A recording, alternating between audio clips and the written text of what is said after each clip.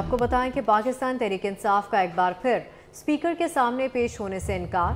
तहरीक इंसाफ ने कल कौमी असम्बली स्पीकर के सामने पेश होने का फैसला मुलतवी कर दिया। जराये के मुताबिक तहरीक इंसाफ के मुस्ताफी अरकान कल स्पीकर के सामने पेश नहीं होंगे। पाकिस्तान तहरीक इंसाफ का एक बार फिर स्पीकर के सामने पेश होने से इनकार। तहरीक इंसाफ ने कल कौमी असम्बली स्पीकर के सामने पेश होने का फैसला मुलतवी कर दिया। जराये के मुताबिक तहरीक इंसाफ के मुस्ताफ़ी अरकान कल स्पीकर के सामने पेश नहीं होंगे। तो आपको हम खबर से अपडेट कर रहे हैं। आपको ये भी बताएँ कि तहरीक इंसाफ का तीसरी बार इस्तीफों के मामले पर यू टर्न सामने आया है।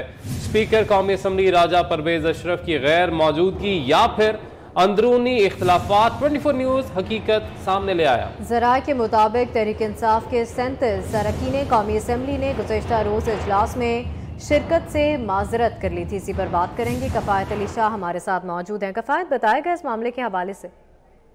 जी, बिल्कुल सैंतीस अरकान कौमी असम्बली के नाम जो है वो इमरान खान को दे दिए गए हैं और पीटीआई पार्टी जराए के मुताबिक जो है तबीयत का बहाना अहल खाना के साथ मसरूफियात या शादी ब्याह के बायस शरीक न होने का बहाना बनाया गया है।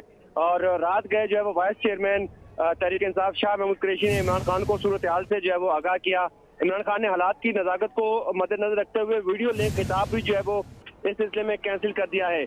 पीटीआई जराये के मुताबिक पार्टी क्यादत ने स्पीकर की गैर मौजूदगी के बाद 28 दिसंबर को खैबर पख्तूनखा हाउस इस्लामाबाद में अरकान को ना आने का ऑफिशियल मैसेज भी जो है वो दे दिया है और 28 दिसंबर को इलाज में शरीक ना होने वाले अरकान कौमी असम्बली को आइंदे के लिए तंबी कर दी गई है। जी।